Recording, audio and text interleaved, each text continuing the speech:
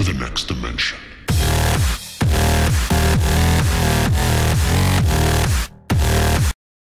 Hello everybody, this is Undercover Dudes all the way from Down Under, doing a quick video about, well, the leaders in Combat Arms, the leaders in experience wise. We all know it's Route 22 at the moment, Big JV, whatever his names are, Autophobe, and Grateful Dead. They're the two guys that are versing.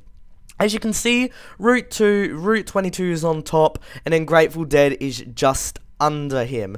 Now, if you click on their things, which I've already done, you see that route, route 22 is 10546, and it, ha it hasn't fully updated for Grateful Dead's. But if you click, not on the main page, but if you click his page, he's beating him. Grateful Dead is now back up to number one. He's the number one player.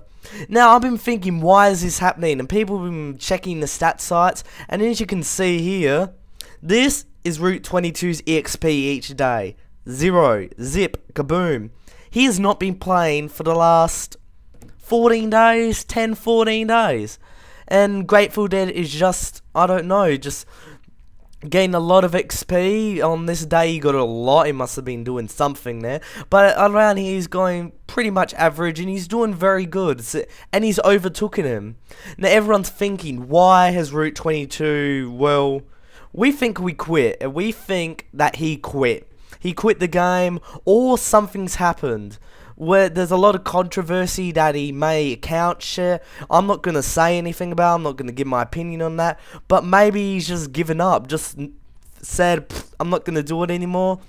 And just not play combat arms anymore.